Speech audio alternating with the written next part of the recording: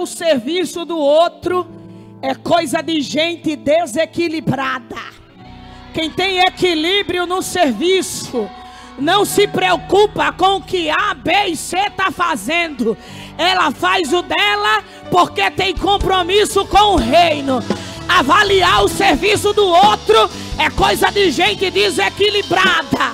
Avaliar o trabalho do outro é coisa de gente que está desconectada do serviço de Deus. Você vai me ajudar a pregar, você vai. Olha para esse crente que está do teu lado e diz a ele: faz o teu, pensa. Faz o teu que eu faço o meu. Para de avaliar o meu e te preocupa com o teu. Jesus não está contratando encarregado para obra. Ele está contratando servo.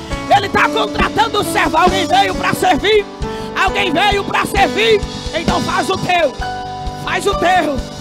Faz o teu. Olha para Marta.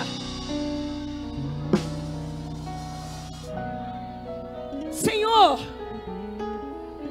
eu estou fazendo tudo. Maria não está fazendo nada.